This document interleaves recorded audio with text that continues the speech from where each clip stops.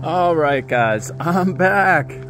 I kind of missed the forest after uh, spending all that time in Miami. I, I love Miami very much, but it's a it's an incredible high energy place, and it's always nice to get a little peace and a little balance in my life. So.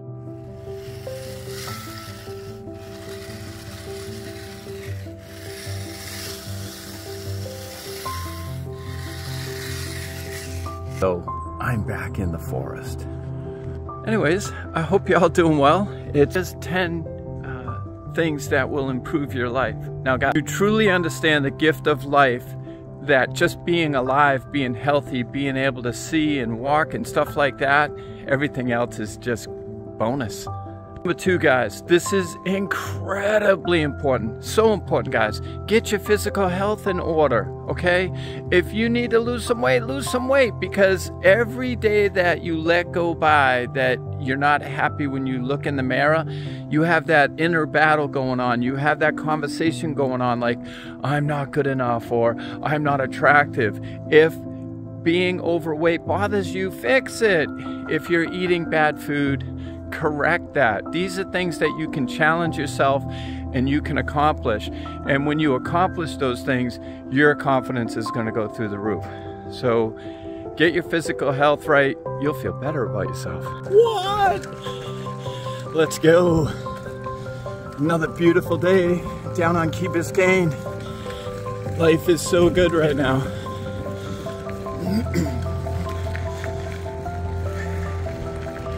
Guys, you have to create your end story. It takes a lot of work and a ton of discipline, but it's worth it. Guys, number three is incredibly important. I almost wanted to put it as number one because it's so important. Get your mindset right. Work on your mindset. If you're in the right mindset, everything in your life is just going to come together. So it really should be number one because if you're not in the right mindset, it's going to be difficult to accomplish everything else. So work on your mindset. You see my other videos, how I mindset. I do stuff like this. Walk through the forest. It's all about your mindset. And you have to fix your mindset and you have to do the work every day. And you have to put yourself in a position to win. And this is my happy spot down here, Southern Florida and that's why I'm here and I feel like a million bucks.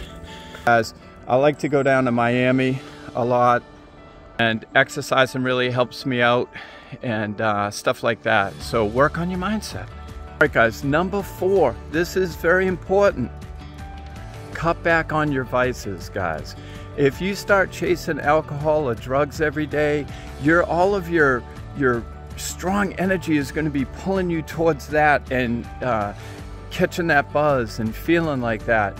Whereas your strong energy should be pushing you towards living a healthier life, acquiring a better mindset. Therefore, your business or your professional job or whatever your, your, your goals are in life, they're going to become a reality a lot easier. And um, yeah, so cut back on your vices. And guess what, guys? Vices can be sugar and you know, caffeine and cigarettes, just everything, guys. So try to work on that, and that will improve your physical health. And when you put those together, excuse me, it improves your mental health. Oh, this one's really important, guys. Stop blaming others. If your life sucks, well, going through a divorce, um, that is kind of a small excuse. I'll give you a little mulligan on that, but in general, Stop blaming others for your issues. Look inward. I look in the mirror. I started looking in the mirror when I was like 23, 24, young young guy right out of the Marine Corps. I had to look in the mirror and say nobody gives up about you and get your life squared away. And I did. And um, you know, I'm very successful and I'm very humble. But you know, you don't want to just listen to somebody on YouTube or TikTok that's not accomplished trying to tell you how to be successful. It's foolish.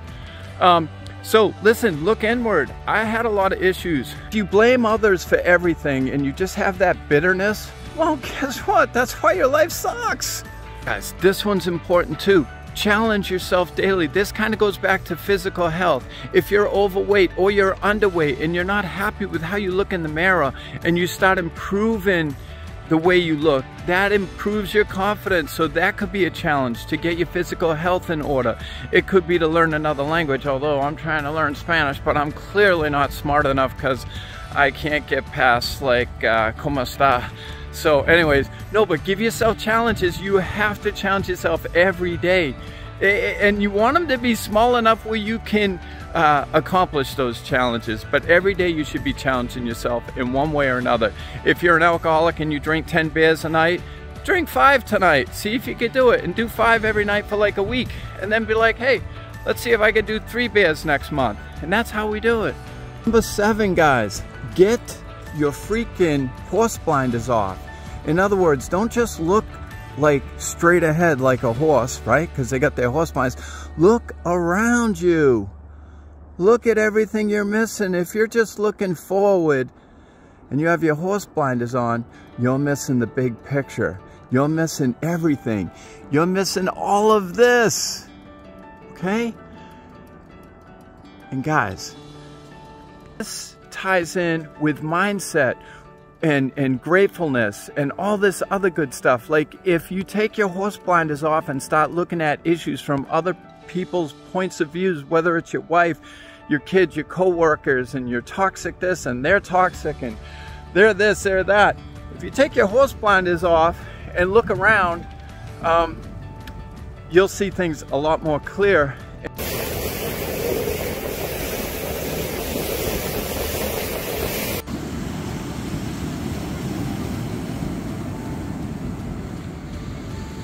And you'll have a uh, more balanced approach to everything in your life. So tunnel vision just leads to a dark tunnel and a dark end. Okay, so take your horse blinders off, expand your mind, expand your horizons. Number eight, I learned this as a young Marine. Leadership by example is everything.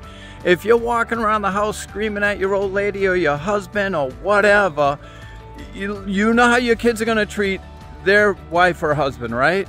If you show up to work late at your business and everybody's waiting for you or you're late for meetings, well, actually, if you're that person, you're never going to be successful because leadership by example is everything. You know, Elon Musk used to sleep in his warehouses or his factories, whatever it's called, um, for months on end to be there with his workers.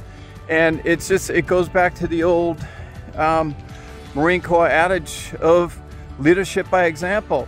I'm not going to ask this Marine to do something that I would not do right next to him or her or that I have not done. Leadership by example is everything. You can't just, I'm not going to lecture you guys.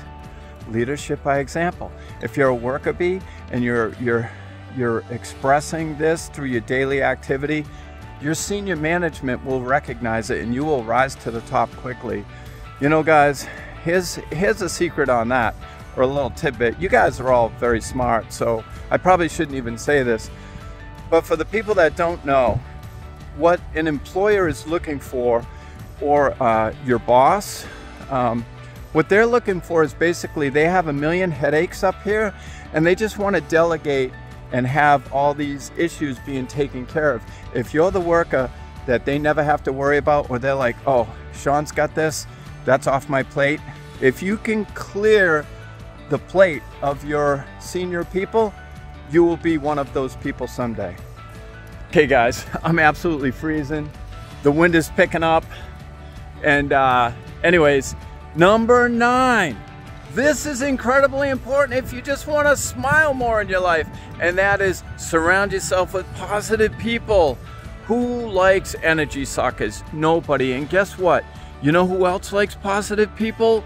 Your upper management, okay? People that you're gonna do deals with. They don't wanna be around mopey, crappy, miserable people that don't look inward, that have a, a lousy outward appearance, that, you, you know, a, uh, all this stuff goes together. You have to push out the right energy. You have to take care of yourself, take pride in yourself, and just that will draw the right people into your life, guys. It really will, guys. It really will. But let me expand on that a little bit more. Guys, surround yourself with people that make you feel good. That's why I'm alone in the forest. There's no positive people around here, damn it. Surround yourself with people that charge your batteries. Surround yourself with people that don't have horse blinders on. Surround yourself with people that are accomplishing things in their lives because those people have the right vision. They cut back on their vices. They they work on themselves every day.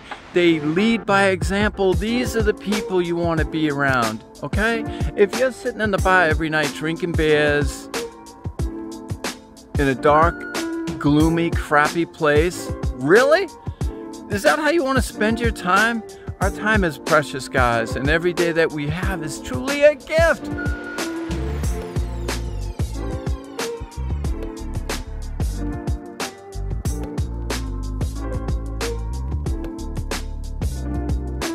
So work on you. Surround yourself by great people. All right, guys. Last one, number 10. Travel. Please travel, guys. You know, what does what does everybody do when they're like 50 or 60 and they retire? They buy an RV and they drive around and they just like, wow, man, I missed my whole life. I worked my whole life away, so now I'm gonna travel. No, don't be that person, man. No, do it now. Cause guess what, guys? When you travel, what happens? Your horse blinders stop flopping in the wind, right? Both of them, right? They're flopping, then it just comes off, and then you see the whole world, and you're like, Jesus, Mary, and Joseph. I can't believe I gave up all of my life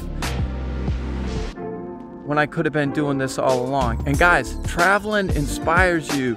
You meet different people, different cultures, different food. That's the spice of life. That is the spice of life. And if you don't travel, those horse blinders become permanent. All right, guys? So open your mind, expand your horizons, travel. All right, guys? All right, this is the last one, guys. This is a bonus. This is the Shanzo bonus. It's very, very important, guys, that you uh, get your money right. Getting your money right is probably one of the most important things for all of this to work. If your money's not right, you're just going to have those negative things bouncing back and forth in your mind.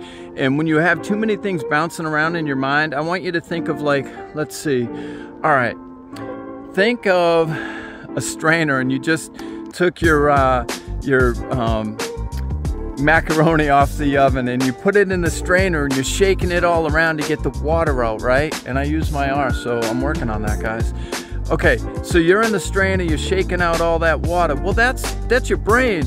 So if, if you have all these issues going back and forth all the time about your your weight or your your your insecurities and your horse blinders are stuck to your head and you know, you have your vices. I'm drinking too much. I'm doing this too much. And then you know you're failing at work. So you have all these negative things going on, and you have all these negative people in your life that are constantly talking to you about negative stuff, and that's going back and forth in your head.